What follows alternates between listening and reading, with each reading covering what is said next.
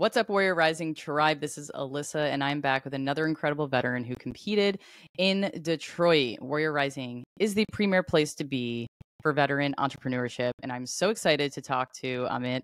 He competed in Detroit, like I had said, and he has some key takeaways and some awesome things to get into. So, without spoiling what he has to say and putting words in his mouth, welcome. Thank you. Thank you for um, having uh, me here. It was an awesome experience. I can't wait to uh, talk to you guys and share my experiences about what we did in Detroit. So, it's yeah. pleasure, pleasure to be here. Absolutely. I'm excited. We got to connect after the whole thing was over too. And I remember just that resounding, like, you know, there was synergy, there was community. It was just a really awesome last evening for everybody. So, kind of first, just tell everyone what your business is, and then we'll kind of get into the everything else. That way they know. That, that's fair. We can get carried yeah. away otherwise. Um, yeah. um, yeah. So, uh, I uh, founded a business called ShareOn it's um, it rose from my need. I think that I feel uh, there's insufficient information on how well people connect, and I think there's always improve room to improve, uh, to grow in how you connect professionally and socially. And so, uh, no sorry worries. about my dog. That's awesome, but yeah, there's always room to improve and grow. And so, uh, my team and I, we developed a mobile app that would allow people to get feedback from their peers.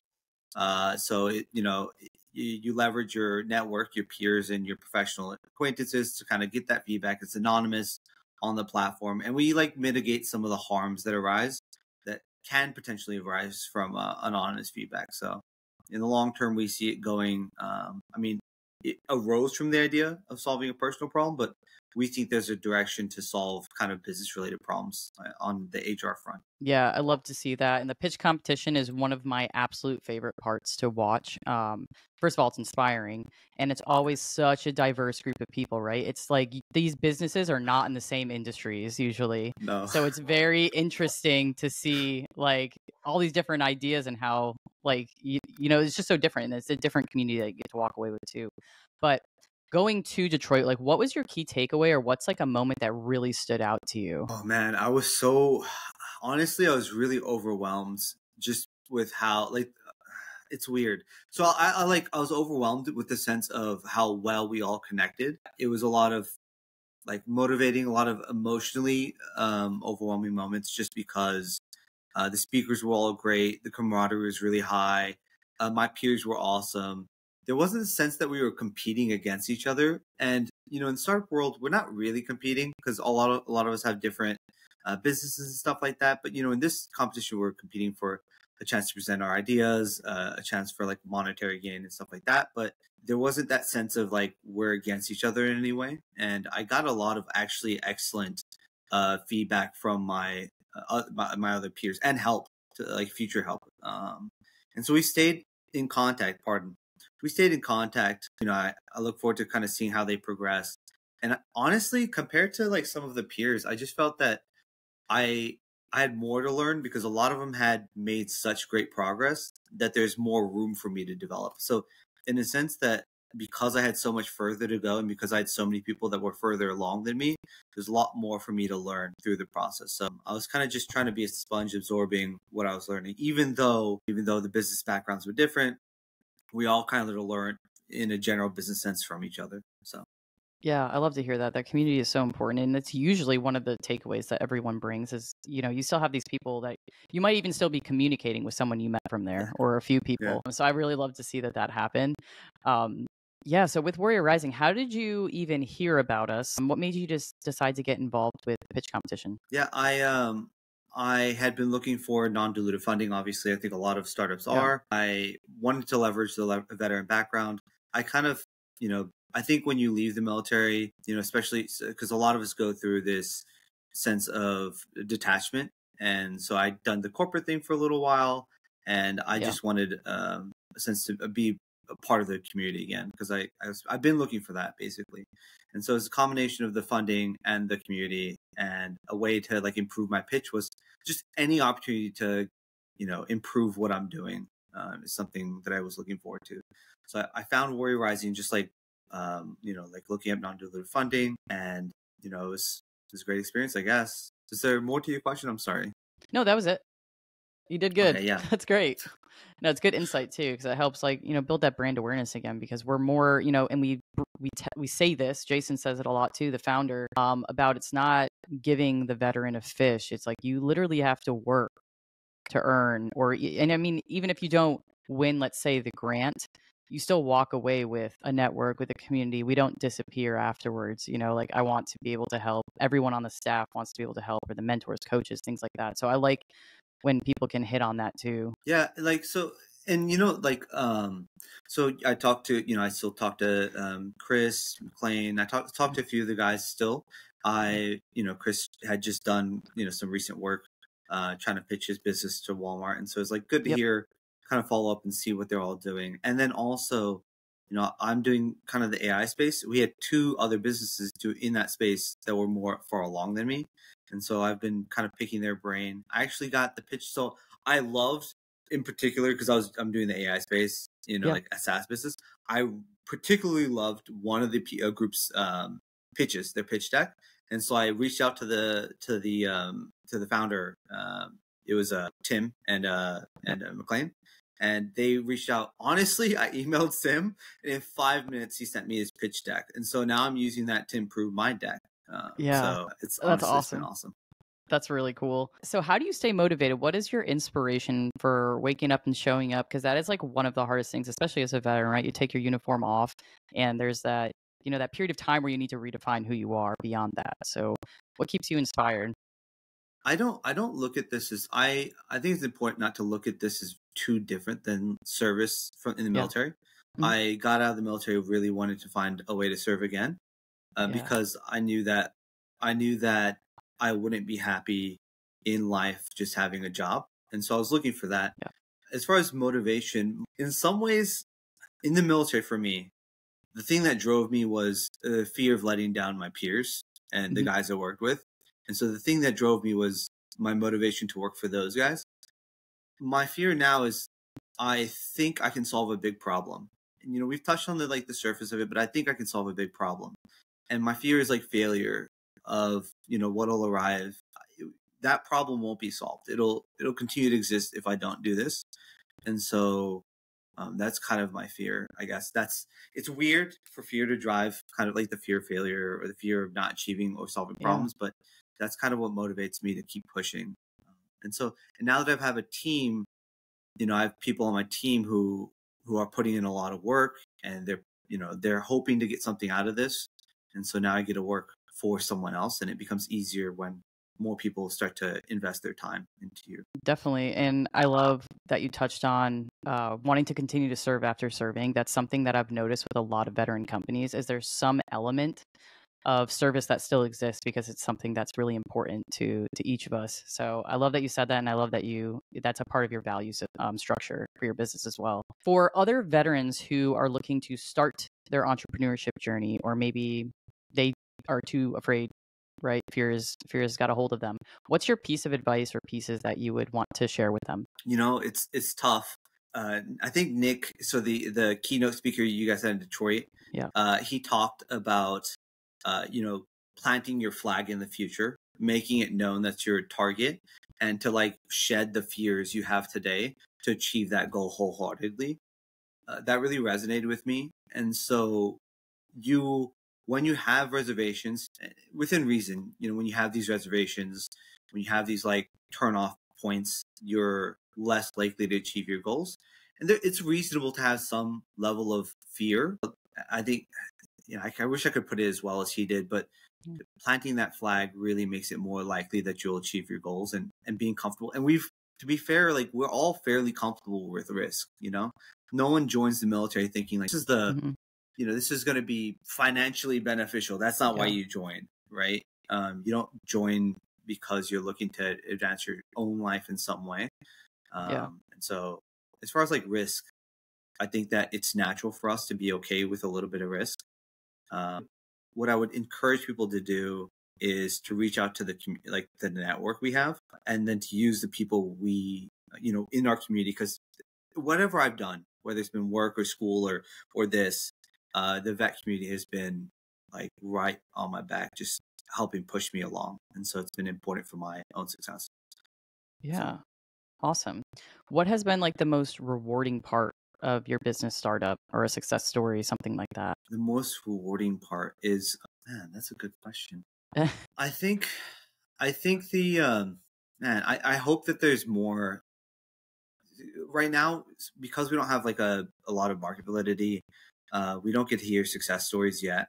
And yeah. um, you know, we hope to get those in the future.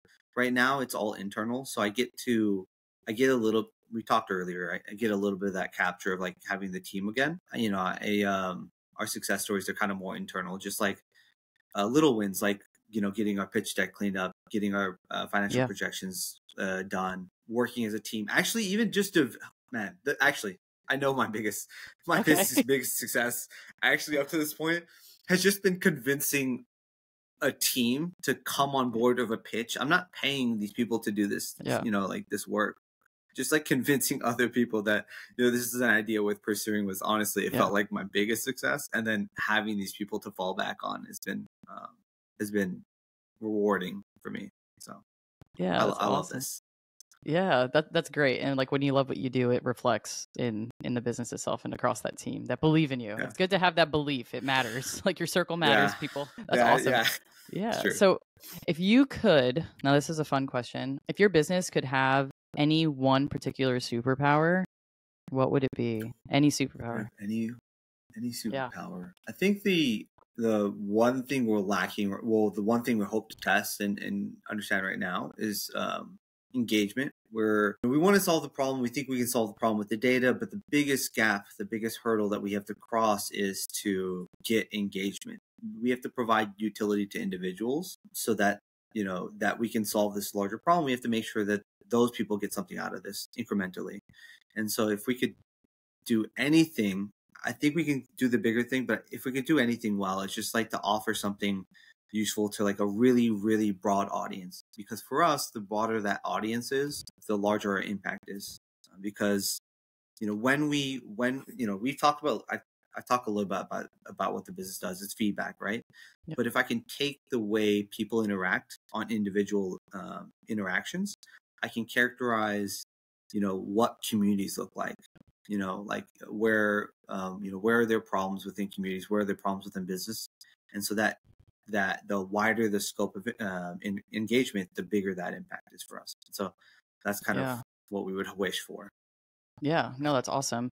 Um, and as far as like bringing it back to warrior rising in the community what part of the culture resonates with you the most or resonated with you the most? Yeah. So man my time at warrior rising was awesome. And i, I really can't undersell it sorry oversell it enough. Like I I've been in uh, the startup community only for like a, about a year now, but I've been really engaged. Uh, I'm in Ann Arbor, Michigan.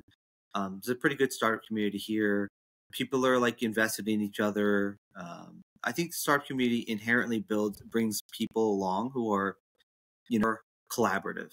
Even even within that context, all these startup cohorts or whatever you're talking about, they all hope to achieve some level of camaraderie.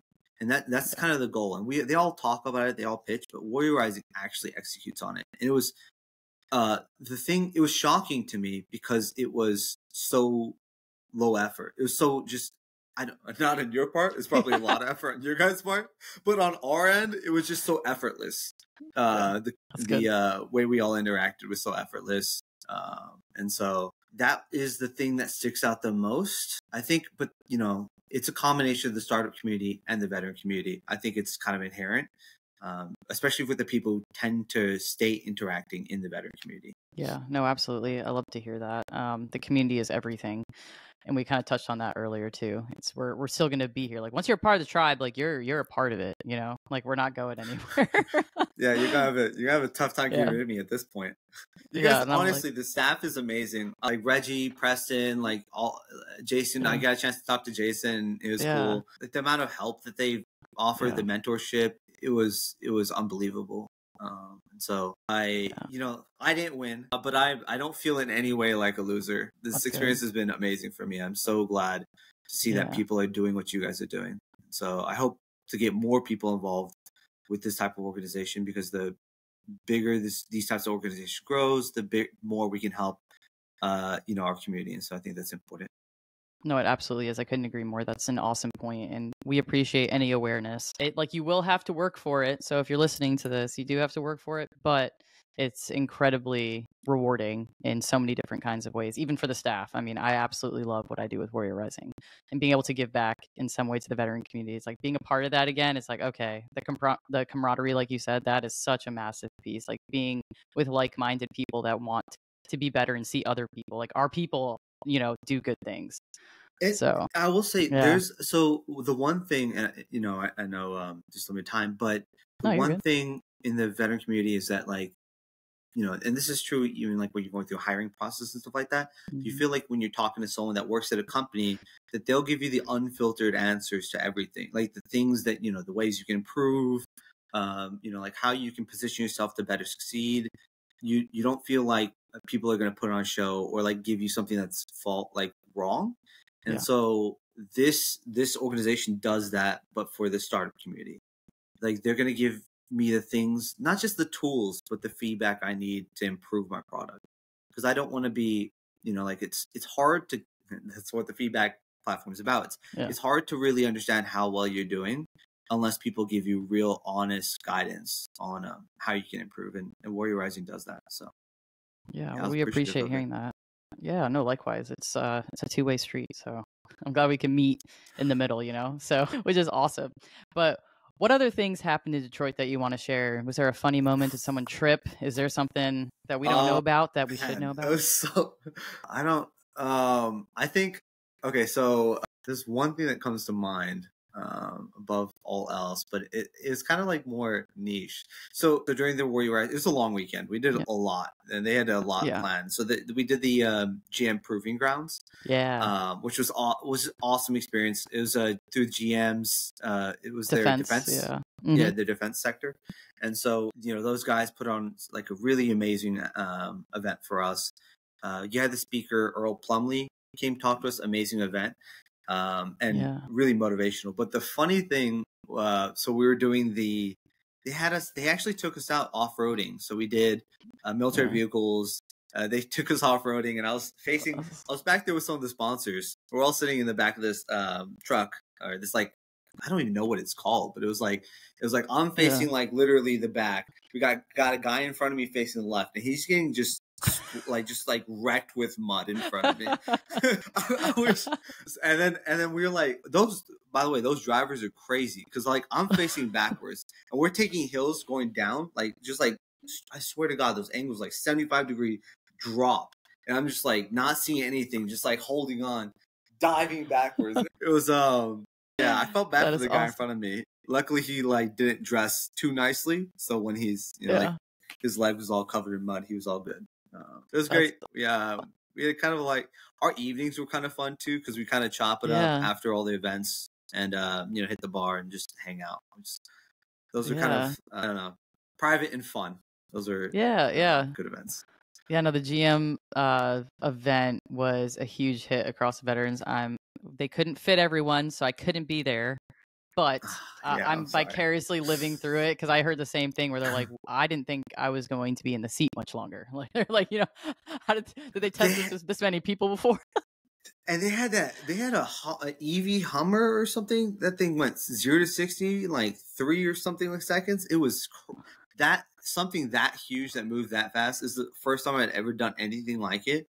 So it was, it was a crazy experience. I had no expectation uh, going in, and so I was like mind blown. This is awesome. yeah, that is great. I felt kind of to- spoiled. I felt a little Yeah. spoiled to be honest. That's cool though to start like you know to kind of kickstart the adrenaline before the big day. It's like you know, Y'all, y'all had me worn out for three days. Seriously, I was just like, it was an emotional roller coaster, is what it was. Um, Yeah. it was awesome. I loved it. Well, I appreciate you hopping on. So if you want to share with everyone where they can find you, support you, whatever, connect with you if they have an idea, please let us know. Sure, yeah. So, um, again, my name's Amit Parmar. The business is ShareOn, S H A R E O N. Um, we're we're a mobile app, so we plan to be on Google Play and the Apple App Store soon. Um, but we also have a website, theshareon.com. Uh, it's our little landing page, and it'll help direct you as necessary. So I really appreciate this. I appreciate Warrior Rising. Yeah. I appreciated also I appreciate um, Alyssa did a lot of the motivational stuff, a lot of centering exercises uh, while we were doing our training, and so I really appreciated that as well. So it was it was helpful. Oh, I'm glad you I- remembered. actually- Yeah. yeah, I was using. I was actually just using it this week. I was I got done with like a little pitch thing, and I was like trying to like not freak out a little bit. So Yeah. it's been helpful. That's awesome to hear. I'm glad. I'm glad the you know box breathing and all that stuff. We underrate how important breathing is when we're intentional with it. So Yeah, yeah. I love to hear that. That- I know it's not the last time we'll be talking either. So I'm excited to see what you do with your business. Sure. Thank you, thank you guys for having us. It's awesome. Absolutely. Yeah, no, 100%. And anyone listening, Warrior Rising again is the nonprofit that is premier space to be for veteran entrepreneurs. Please check us out at warriorrising.org or comment on any social media because we will get back to you um, with whatever questions you have or anything really. And I manage it, so I know that for a fact. So, but anyways, thank you everyone for tuning in. And Amit, thank you so much for sharing your time with us. Awesome. Pleasure. Have a good one. Absolutely. We'll see you next time.